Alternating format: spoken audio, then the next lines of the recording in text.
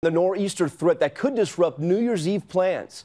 The Plain State still digging out that blizzard pushing high winds into New England, where an uprooted tree crushed this home in Massachusetts.